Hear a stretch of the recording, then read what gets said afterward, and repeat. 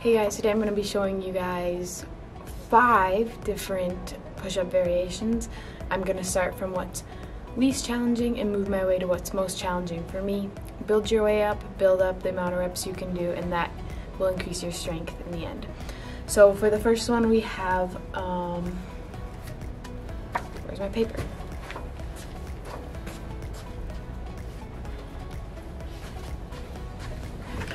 First, we have push-ups on your knees. So for these, you're gonna wanna make sure that your shoulders to your knees is a flat line and that your core is engaged and that all of um, your power is coming from your chest.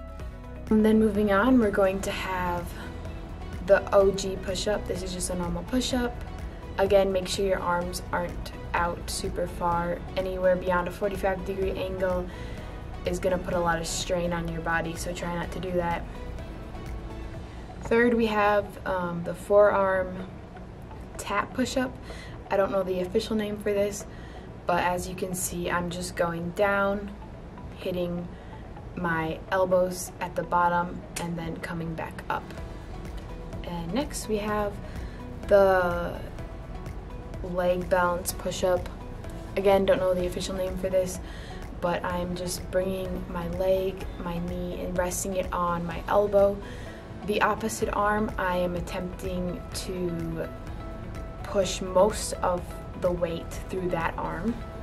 The next is the hands, um, is just having your hands push back in a push-up. This is your um, normal push-up. You're just putting more weight onto your upper body and less of your weight is being held by your legs. And fifth, we have the pyramid push-up. This is just, again, another way to bring more of your body weight um, onto your upper arms and off of your legs.